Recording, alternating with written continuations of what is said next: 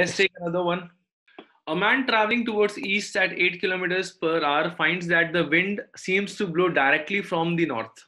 On doubling the speed, he finds that it appears to come from northeast. Find the velocity of the wind.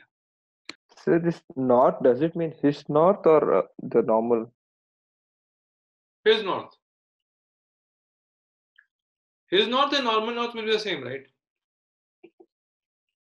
Turn towards the right and then if it's traveling, then the north will be like the other side. North is fixed. North is a fixed thing. My north and your north would be the same, right? But if we are facing like opposite, then it will be different north. Blowing from the north. North direction doesn't change if I if we are facing other side. If I if I turn round, north will remain north, right?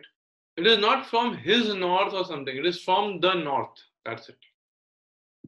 Are you all aware of the concept of relative velocity? When you see this word seems, seems means relative to the man. See this word seems. So whatever is the velocity of the man, the wind relative to man appears to come from north. Okay, this appears to come from north. So let me just make a diagram like this. So let's say the man is moving in this way. 8i. Okay, so this is your V man. This is what he sees. He sees that the wind is coming from the north. So this is the V man minus, sorry, V wind minus V man. Since it is coming from the north, means it's going towards the negative y-axis. So you can call it as minus pj. So is it 8 root 2? Correct. Direction? What is the direction? So is it in, uh, one, one second, I'll cal- Okay, so let's say the wind velocity is xi plus yj. So what is given to you here is vm minus, sorry, vw minus vm. Why am I writing m every time here? Sorry. vw minus vm is minus pj.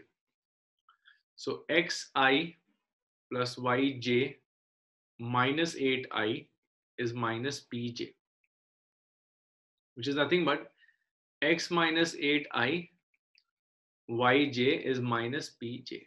Now guys, uh, we have not yet studied about the concept of linear dependent and linear independent, but here let me tell you, since there is no i component over here, you can safely say that this is 0, which means x is equal to 8.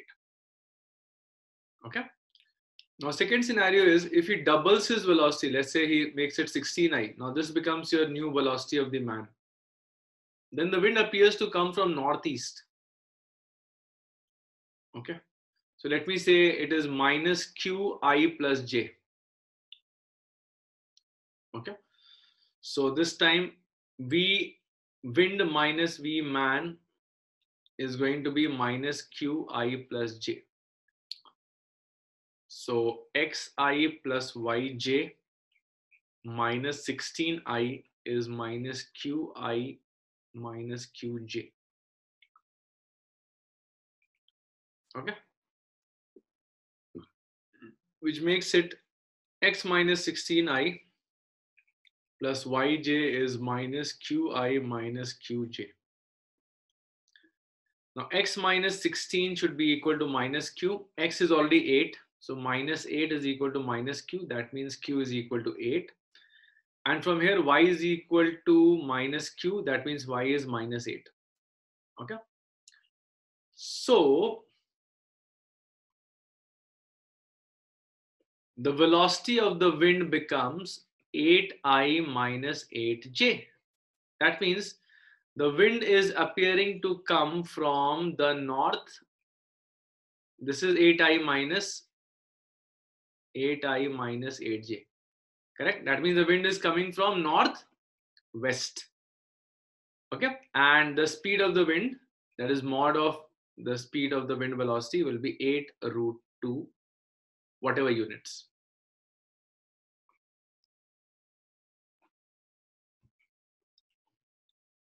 Clear, everyone? Please type CLR if it is clear. Okay. Next question. So how important is this chapter like considering the competitive exam? Very important. Very important. Vector at least two questions. 3D at least two questions. Vector 3D combined three to four questions will come. Find a unit vector C if this bisects the angle between C and 3i plus 4j. So basically there is a vector 3i plus 4j. Okay. There's another vector C, which is actually a unit vector. So C is a unit vector. Okay.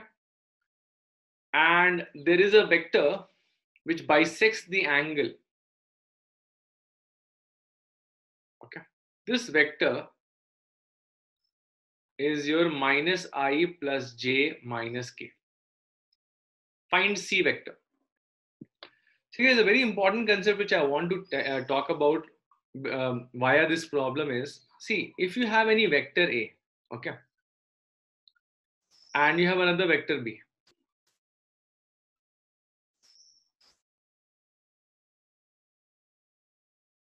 okay, and there is a vector which is bisecting the angle between A and B. Okay, let me say C. Then let me tell you that C vector can be expressed as lambda times A by mod A plus B by mod B. Now, of course, my question would be how? How is this possible? Can you at least justify this? So what I'm claiming here is that the C will lie along. Lambda is just a, you know just a saying that there is a vector along the direction of this vector. At least somehow you get this vector. Lambda you can always justify. Lambda means any vector which is collinear or lying parallel to that vector. Then we'll come back to this problem. So as of now, park this problem and let's try to focus on this. Anyone? Any idea? Aditya, Shreya, Rutu, Ardra, Samyukta. You can unmute yourself and talk. No worries. Don't know, sir. You unmuted yourself to just say don't know. Okay. Sir, uh, could it be like from parallelogram law of vector addition? And if we take the parallelogram, if we take a special case, then we can prove this. But are we allowed to take special cases? Uh, yeah, go ahead. Let's see what is your special case. How special it is. Tell me through special case only. No problem. Technically, I'm not sure whether in parallelogram angles are bisected. That's why I'm taking a special case of a square.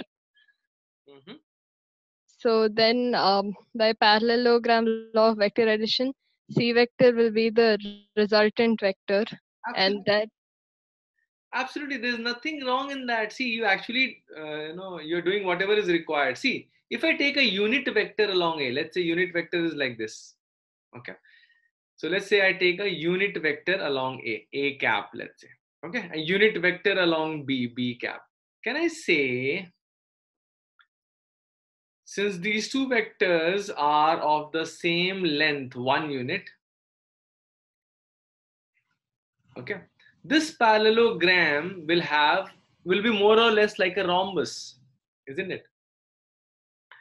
So if i if i take a bisector over here can i say this bisector angle will connect this point to the midpoint of these two? Correct? Yes or no? Do you agree that Yes. Bisector angle will connect the midpoint. So if let's say this is your O and this position vector is A cap, this position vector is B cap, then this position vector would be A cap plus B cap by 2. Correct? Can I say any vector in the direction of, let's say I call this point as C. Any vector in the direction of C, can I say it will be some constant? Let me call that constant as lambda. Not lambda, let me call it as uh, uh, beta. Beta times a cap plus b cap by 2. Correct? So even C lies in the direction of this.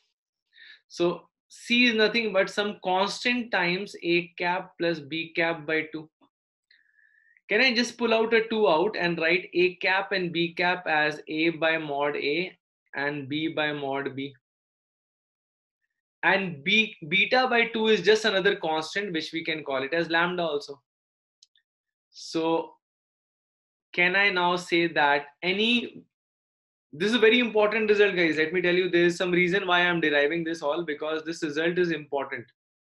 This result is directly used in solving many problems. Okay? So any bisector angle vector which is bisecting the angle between vector A and vector B could be written as lambda times A by mod A plus B by mod B. Getting my point? Now, can you please use this to solve this given problem? Now come back to this question. Now this C is different, okay? Don't get confused. This C was my bisector. This C is the one which is getting bisected. So now don't have the same C carry forward, okay? Uh, now solve this. So can I say uh, So is it 3 by 5 i cap minus 4 by 5 j? No, no, no. The answer is slightly more complicated. Can I say this vector is lambda times c vector? Let's say c vector is xi plus yj plus zk. So c c vector itself is a unit vector, so you don't have to do a by mod a. Uh, by the way, let me just make a confirmation here that this will be equal to 1. Plus 3i plus 4j by 5. Is that clear? By the same logic that we discussed over here, okay, this bisector vector is lambda times the unit vector along C, which itself is a unit vector. So I've just written it like this, plus unit vector along 3i plus 4j, which is 3i plus 4j by 5. Now let us compare the coefficients. Minus 1 is lambda times x plus 3 by 5. J component is 1 over here. J component here is lambda times y plus 4 by 5. K component is minus 1 lambda times z. Correct? Is that fine? So now z is minus 1 by lambda. Y is nothing but minus 4 by 5 minus 1 by lambda. Plus 1 by, yeah, sorry. Which you can write it as uh, 5 minus 4 lambda by 5 lambda also. And x is nothing but minus 1 by lambda minus 3 by 5. Which is nothing but minus of now, how do I get the lambda value? By using the fact that x square plus y square plus z square is equal to 1. Because x, y, z are the components of a unit vector. So 5 plus 3 lambda square by 25 lambda square. 5 minus 4 lambda square by 25 lambda square. And 25 by 25 lambda square should be equal to 1 correct. So let's take 25 lambda square on the other side. So it is 5 plus 3 lambda square. 5 minus 4 lambda square plus 25 is 25 lambda square. Let me expand it. If you expand it uh, 9 plus 25 lambda square here itself i'll get and i'll get 30 lambda minus 40 lambda, which is minus 10 lambda. And constant terms will be 25 plus 25 plus 25, that is 75 is equal to 25 lambda square. So 25 lambda square, 25 lambda square gets cancelled off, giving you lambda value as 75 by 10, which is 15 by 2. Okay. That means x. Now put it back over here put it back at these these values this value this value and this value.